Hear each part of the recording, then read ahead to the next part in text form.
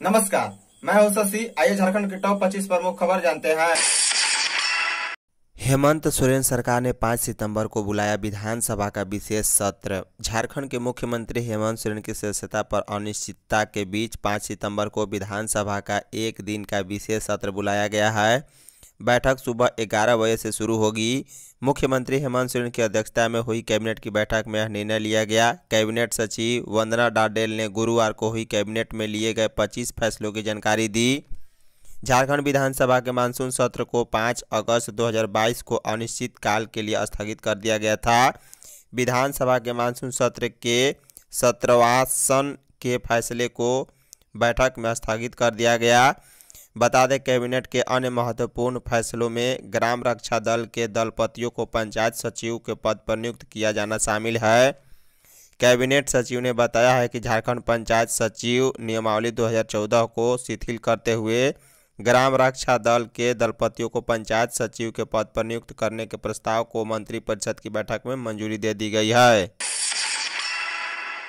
Jharkhand board कक्षा ग्यारहवीं का रिज़ल्ट जारी। झारखंड एकेडमिक काउंसिल ने कक्षा ग्यारहवीं के परिणाम जारी कर दिए हैं। उम्मीदवारों को बता दें कि कई मीडिया रिपोर्ट में दावा किया गया था कि रिज़ल्ट 1 सितंबर 2022 को जारी होगा, जो कि सही साबित हुआ।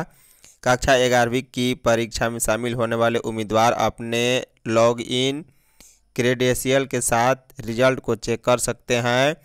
एक बार रिज़ल्ट जारी होने के बाद अब सभी छात्र आधिकारिक website JAC real dot com और JAC dot Jharkhand dot G O V dot in पर जाकर अपने परिणाम चेक कर सकते हैं। झारखंड में पुरानी पेंशन योजना लागू। सीएम हेमंत सोरेन की अध्यक्षता में गुरुवार को कैबिनेट की बैठक हुई। कैबिनेट में कुल 25 प्रस्ताव पर मुहर लगी। पुरानी पेंशन योजना को लागू करने के प्रस्ताव को भी स्वीकृति दे दी गई है। पुरानी पेंशन योजना लागू होने की सूचना मिलते ही प्रोजेक्ट भवन परिसर में कर्मी खुशी मनाने लगे। बता दें कि बीते 16 जुलाई की कैबिनेट बैठक में पुरानी पेंशन योजना लागू करने को लेकर विकास आयुक्त की अध्यक्षता में एक तीन सदस्यीय कमेटी बनाई गई थी। कमेटी ने अपनी रिपोर्ट सरकार को सौंप दी, जिसके बाद एक सितंबर को हुई कैबिनेट की बैठक में इसे लागू करने की स्वीकृति दे दी। राज्य के सवा लाख कर्मियों को इसका लाभ मिलेगा। झारखंड कैबिनेट की बैठक में 25 प्रस्तावों पर मुहर। झारखंड में चल रहे सियासी संकट के बीच सीएम हेमंत सोरेन की अध्यक्षता में कैबिनेट बैठक हुई। कैबिनेट की इस बैठक में 25 महत्वपूर्ण प्रस्तावों को मंजूरी दी गई। साथ ही 5 सितंबर को झारखंड विधानसभा का विशेष सत्र बुलाने का फैसला लिया गया। बता दें वंदना दादेल ने बताया है कि मानसून सत्र को विस्तारित करते हुए पाँच सितंबर को विशेष सत्र आहूत करने का फैसला लिया गया है। बैठक में पुरानी पेंशन योजना के संबंध में तैयार एसएपी को भी हरी झंडी दिखा दी गई है। बता दें कि 15 जुलाई को हुई कैबिनेट बैठक में नई अंशदायी पेंशन योजना की जगह पुरानी पेंशन योजना को लागू करने का फैसला लिया गया था। तब इसके लिए एसओपी बनाने के प्रस्ताव को मंजूरी दी गई थी। वहीं हेमंत कैबिनेट की बैठक में राज्य में ओल्ड पेंशन स्कीम को मंजूरी मिलने की खबर के बाद 500 से ज़्यादा सरकारी कर्मियों ने ढोल नगाड़े के साथ प्रोजेक्ट भवन पहुंचकर सीएम हेमंत सोरेन को धन्यवाद दिया। दुमका हत्याकांड, अब नहीं कर सकेंगे पीड़िता का नाम उजागर। दुमका की एक बेटी की पेट्रोल छिड़क कर हत्या करने के मामले में आरोपियों के खिलाफ पोक्सो एक्ट लगाया गया है। मृतक नाबालिग होने के कारण बाल कल्याण समिति दुमका के चेयरपर्सन अमरेंद्र कुमार ने एडवाइजरी जारी की है। इसके तहत मृतक का फ़ोटो, नाम, पिता का नाम या किसी भी तरह से पहचान उजागर करना दंडनीय अपराध माना गया है। सीडब्ल्यूसी ने सभी से पीड़िता शब्द का इस्तेमाल करने और किसी भी रूप में उसके पहचान को उजागर नहीं करने की अपील की है।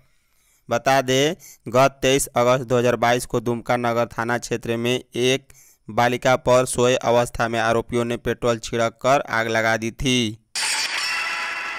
झारखंड के राज्यपाल से मिलने पहुँचा प्रतिनिधिमंडल झारखंड की राजधानी रांची में राजभवन के बाहर हलचल बढ़ गई है। झामुमो कांग्रेस और राजद प्रतिनिधिमंडल राजभवन पहुँच चुका जेएमएम सांसद महुआ मांझी, विजय हंसदा और कांग्रेस सांसद गीता कोड़ा सहित दस सदस्यों वाले प्रतिनिधिमंडल राजभवन पहुँचा।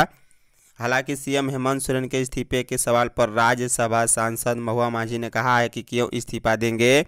हम लोग राज्यपाल से बात करने पहुँचे हैं। वहाँ जो भी बातें होगी, वह प्रवक्ता के ज़रिए आप तक पहुंचाई जाएगी। बता दें कि चुनाव आयोग की ओर से मिली रिपोर्ट का खुलासा अभी तक राज्यपाल रमेश बैस ने नहीं किया है। ऐसे में माना जा रहा है कि सत्ता पक्ष दबाव बनाने के लिए राजभवन पहुँचा है। निलंबित कांग्रेस विधायकों के पास स्मार्टफ़ोन नहीं। हमारे पास स्मार्टफ़ोन नहीं है, हुजूर। डिजिटल माध्यम से सुनवाई कैसे करें? कोलकाता में जुलाई में उनचास लाख रुपए के साथ पकड़े गए कांग्रेस के तीन विधायकों, इरफान अंसारी, राजेश कच्छप और नमन बिक्सल कोनगाड़ी ने स्पीकर न्यायाधिकरण के समक्ष यह गुहार लगाई है। उल्लेखनीय है कि सशर्त रिहाई के कारण तीनों कोलकाता से बाहर नहीं जा सकते। तीनों विधायकों के खिलाफ कांग्रेस विधायक दल के नेता आलमगीर आलम ने विधानसभा अध्यक्ष को शिकायत करते हुए विधायकी खत्म करने का आग्रह किया है। हेमंत की सदस्यता पर निर्णय के लिए राज्यपाल को समय पाबंदी नहीं। विभागीय मंत्री रहते अपने नाम से पत्थर खनन, लीज लेने के मामले में झारखंड के मुख्यमंत्री हेमंत सोरेन की विधानसभा सदस्यता खत्म होगी या नहीं, इस पर खुलासा दो से तीन दिनों में राज्यपाल रमेश बैस कर देंगे। यह वादा उन्होंने यूपीए के नेताओं से की है। यह नेता यह जानने उनके पास गए थे कि चुनाव आयोग का पत्र आया है या नहीं। राज्यपाल ने बता दिया है कि पत्र आया है। यह भी कह दिया है कि आने वाले दो से तीन दिन में अपना निर्णय सुना देंगे। लेकिन कानून के जानकार इस बारे में क्या कहते हैं? बता दें, झारखंड के पूर्व महाधिवक्ता या वरीय अधिवक्ता अजीत कुमार से बातचीत में कहा कि राज्यपाल को इस तरह के मामले में विचार करने के लिए विधि परामर्श सहित अन्य पहलुओं को परखने के लिए समय की आवश्यकता होती है। कानून में ऐसा कोई प्रावधान नहीं है कि राज्यपाल ऐसी स्थिति में एक निश्चित समय में अपना निर्णय सार्वजनिक करेंगे।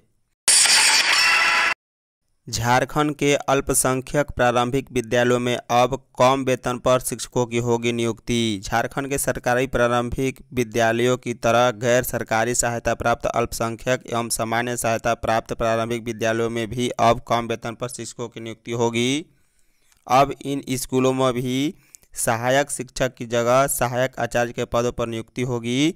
नियुक्ति होने वाले शिक्षकों को बावन सौ बीस ग्रेड पे चौबीस सौ का वेतनमान दिया जाएगा। स्कूली शिक्षा एवं साक्षरता विभाग के सचिव राजेश शर्मा ने सभी जिला शिक्षा अधीक्षकों को पत्र भेजकर इसे लागू करने के निर्देश दिए हैं। आंगनवाड़ी कर्मियों के मानदेय में और बढ़ोतरी। शिक्षा मंत्री, झारखंड सरकार द्वारा राज्य के अस्सी हज़ार आंगनबाड़ी सेविकाओं एवं सहायिकाओं के मानदेय में बढ़ोतरी करने पर चंद्रपुरा प्रखंड आंगनबाड़ी कर्मचारी संघ ने सूबे के शिक्षा मंत्री जगन्नाथ महतो का नागरिक अभिनंदन किया।